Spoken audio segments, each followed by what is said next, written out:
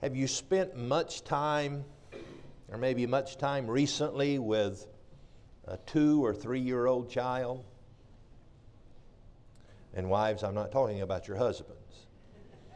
But have you spent much time with a young toddler recently, or even if you can remember in times past your own children, you know that one of their favorite words is the word why.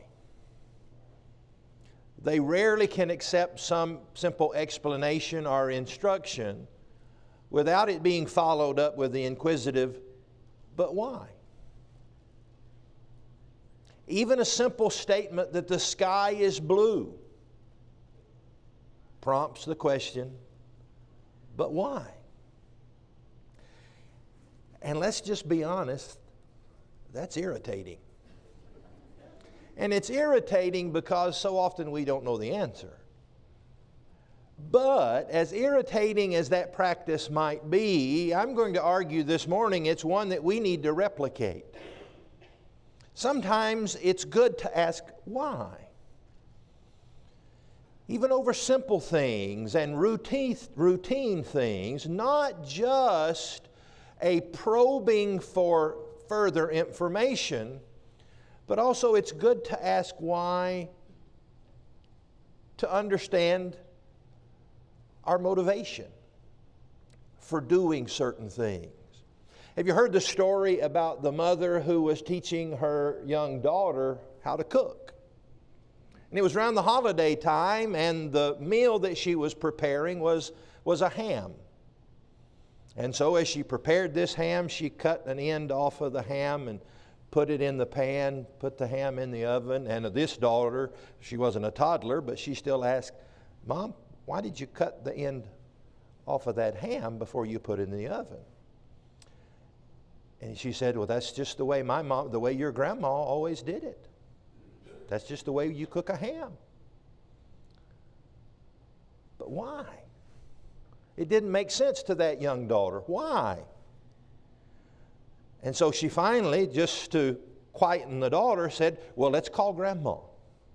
So they called grandma and put grandma on speakerphone, and mom explained, I'm teaching daughter here how to cook, and, and I cut the ham off because I can always remember when you cook ham, you'd cut that end off, and I put it.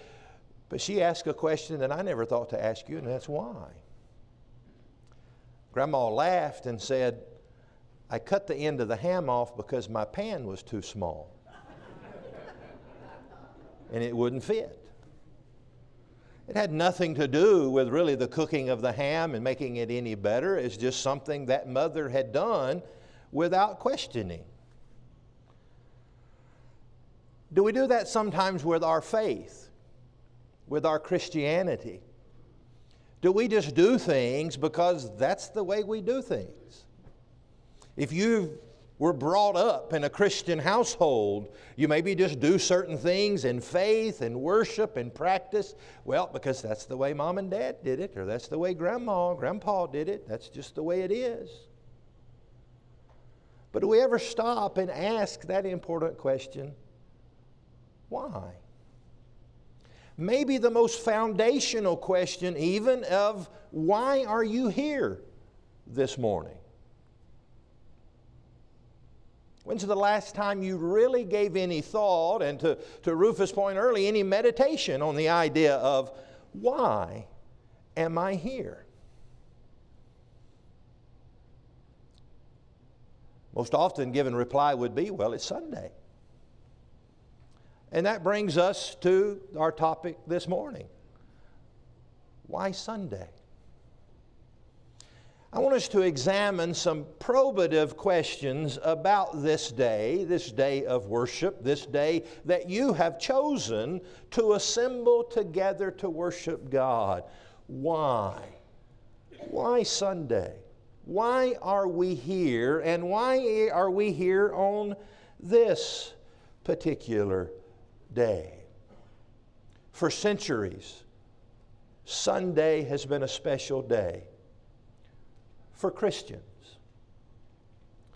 It's been a day of assembling. It's been a day of worship, and we're going to reaffirm all of that this morning. But we're just going to simply ask why? Why Sunday? As we seek to examine this question, we really start with the question of really what day is this?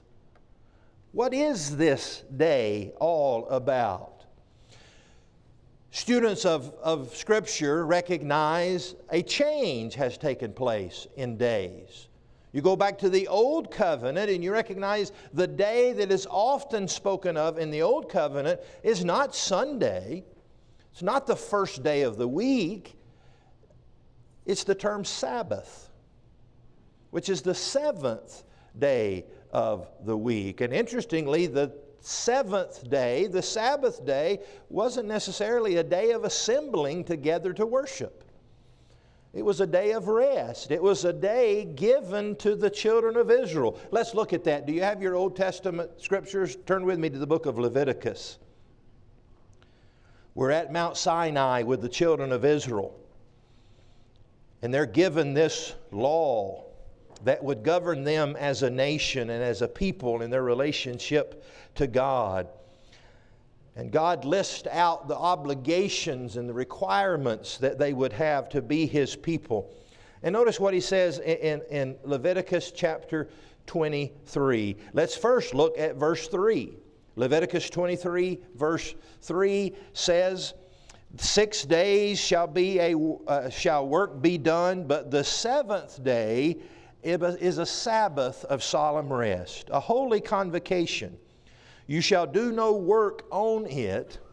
It is the Sabbath of the Lord in all of your dwellings. Again, if you're a student of the Bible, you know that. You know that the Sabbath day was this day of rest. You also know that it was built upon the principle, the pattern of creation.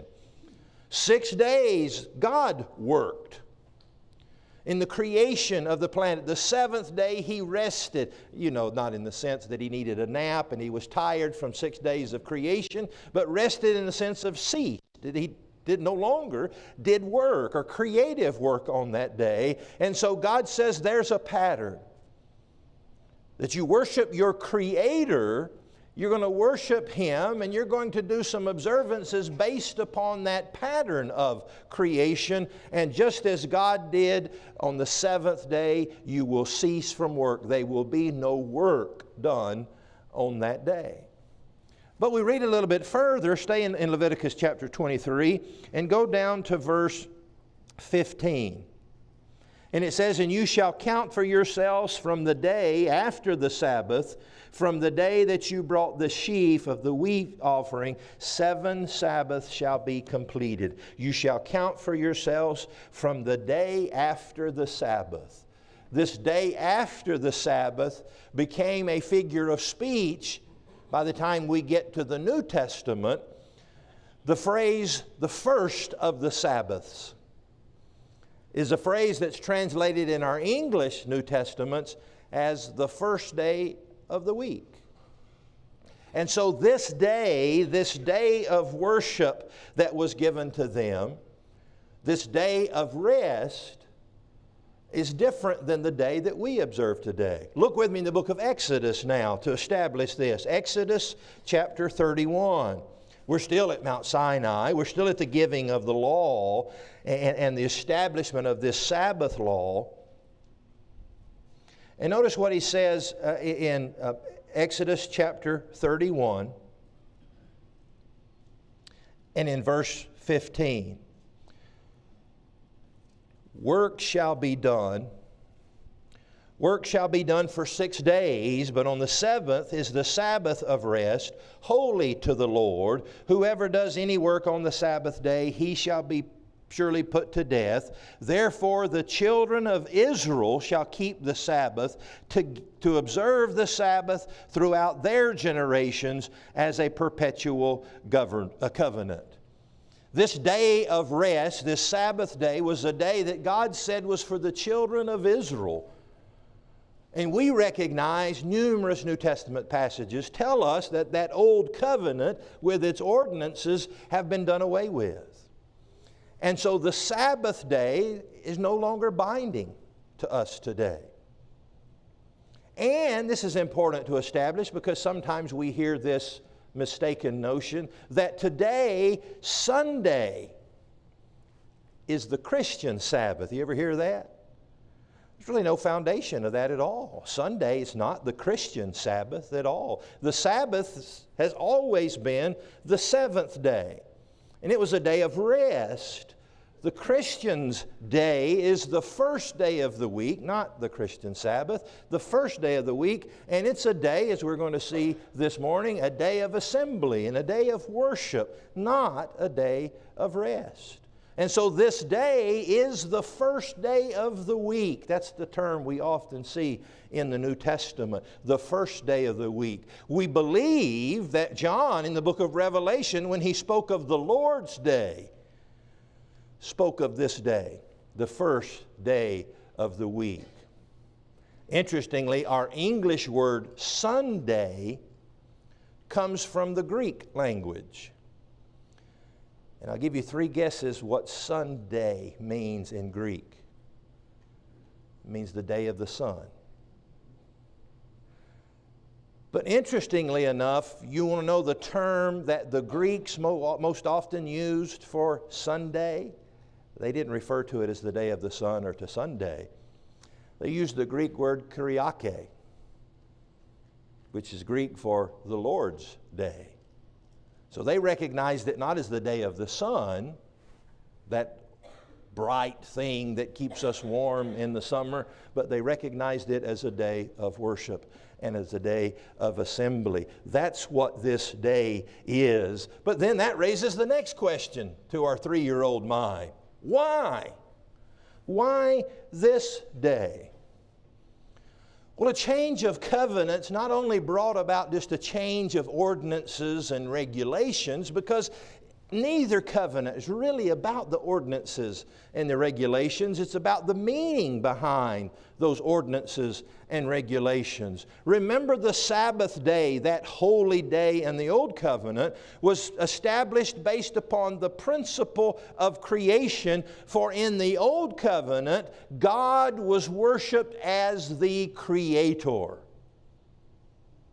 Think about how many of the Psalms speak of the idea of God's majesty and power being exhibited in the creation. And so in the Old Covenant, God is worshiped as the creator. He's worshiped as the law giver. He's worshiped as the one who has blessed the nation of Israel. But under the new covenant, we still recognize God as our creator we still recognize him as the lawgiver. But God is primarily and specially worshiped in the new covenant as our Savior and as our Redeemer. And so we don't just simply have a change of days to mix up the calendar, we have a change of principles and of how we worship and why we worship. And so that change in focus, if you will, on worship, from worshiping God as a creator and the lawgiver to worshiping Him as our Savior and our Redeemer, necessitated a change in day. Sunday. Saturday, Sabbath day, was the day that honored creation, but Sunday, the first day of the week, becomes the day that honors our God as Savior. And so let's turn in the New Testament in Luke chapter 23.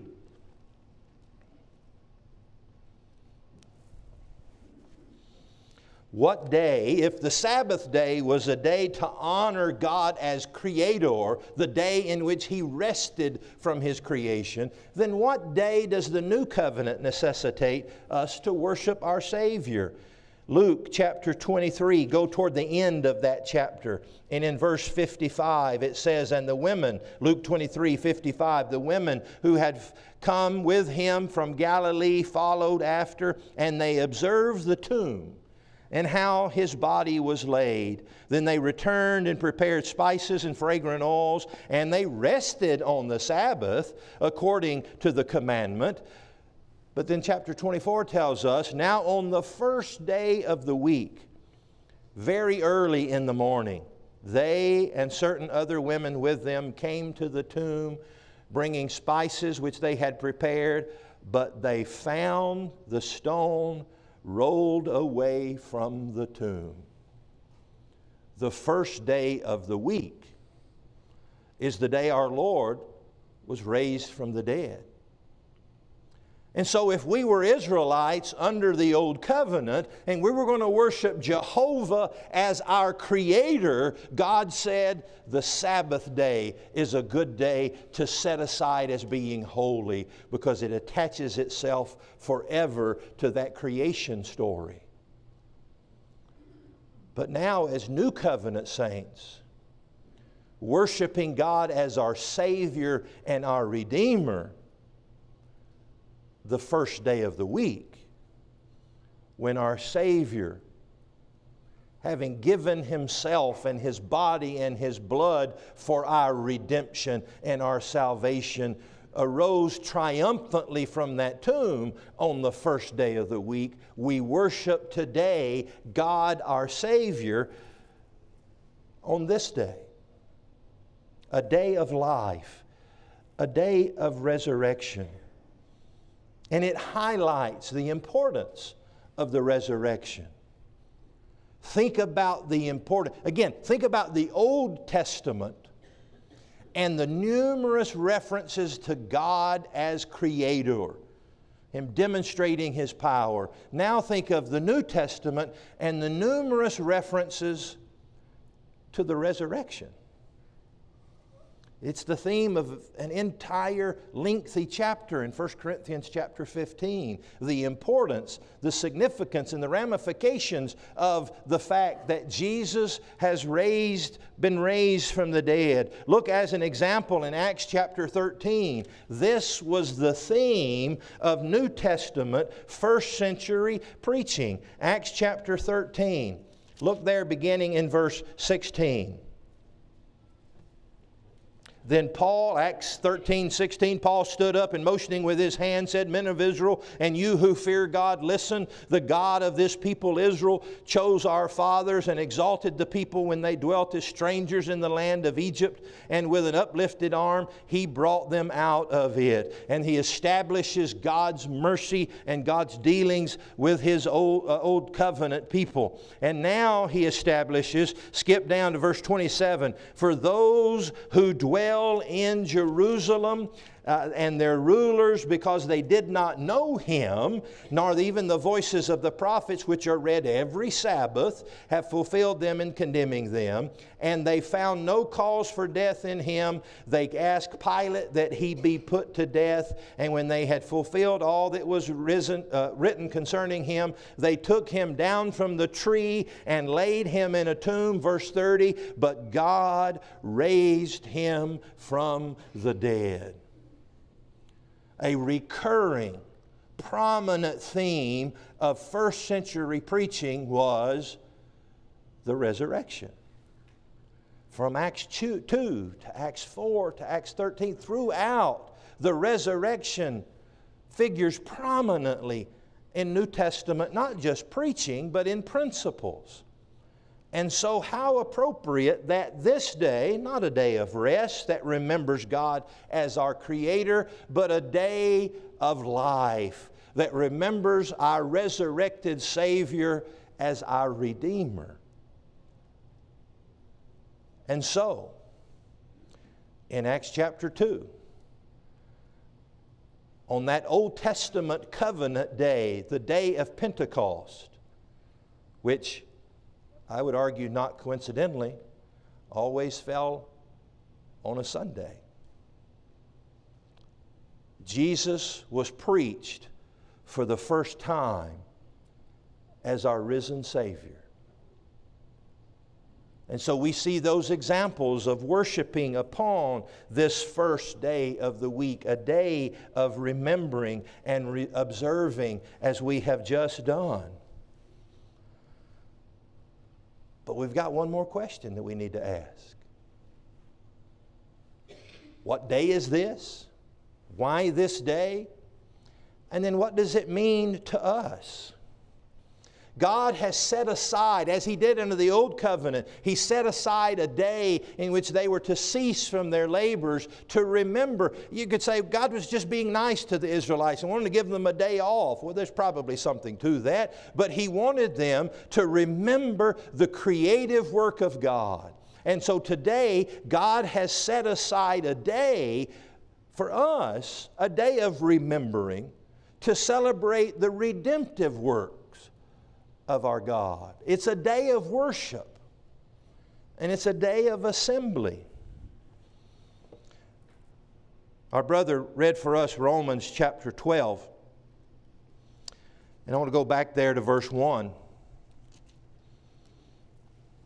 where the apostle says, I beseech you, therefore, brethren, by the mercies of God, that you present your body as a living sacrifice, holy acceptable to God, which is your reasonable service or your rational or, or, service that attaches itself to the mind and to reason.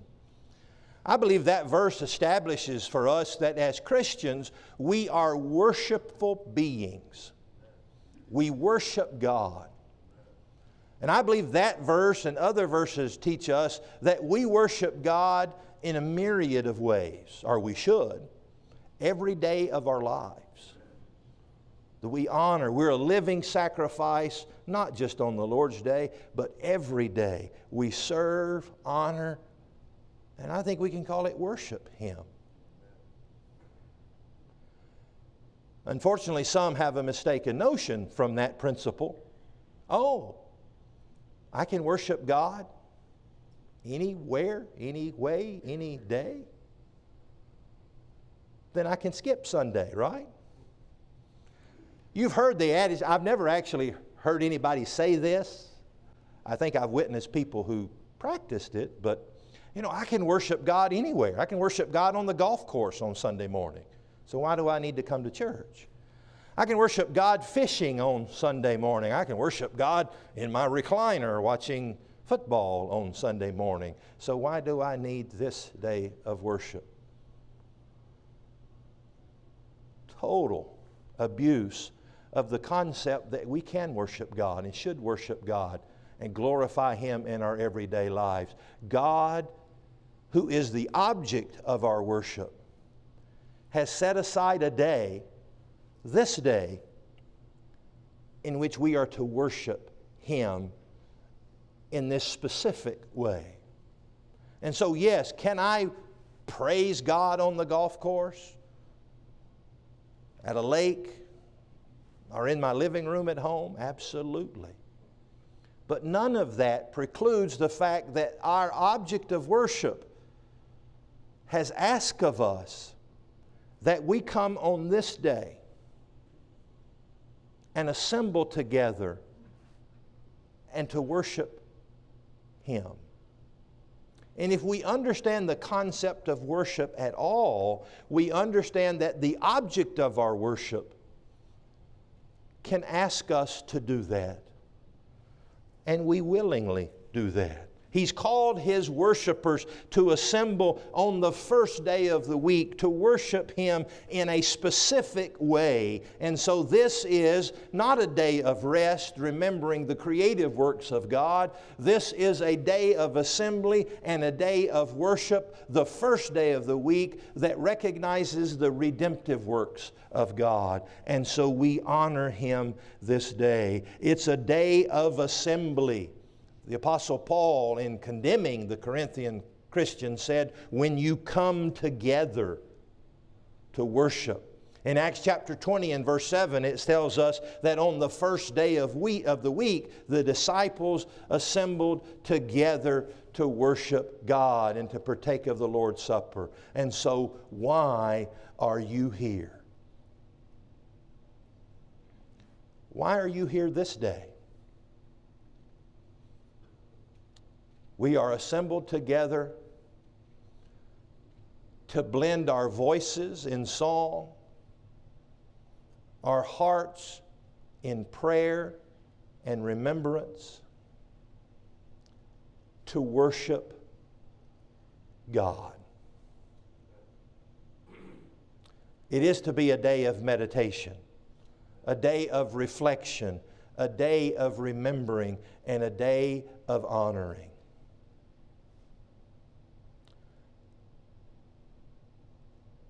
And I'm going to challenge myself to never forget what this day is all about. I'm going to challenge myself that at some point on this day, prior to assembling together, I want to ask myself these questions What day is this?